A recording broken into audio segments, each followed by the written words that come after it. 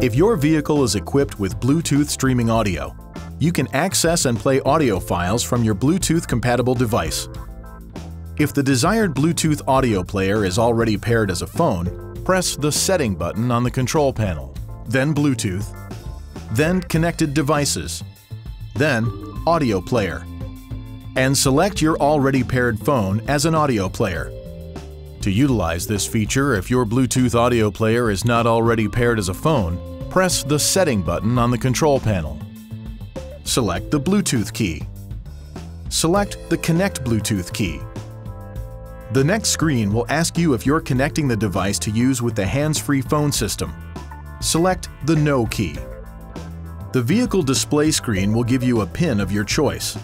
You'll need to enter it into your Bluetooth audio device to complete the connection process. Please check your Bluetooth audio device's owner's manual for more information.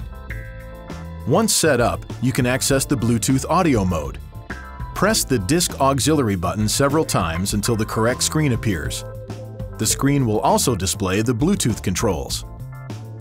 Your device's audio files will now play through the vehicle's speakers. In some cases, the sound quality is compromised through the Bluetooth connection. If you have this experience, we recommend using the USB audio input.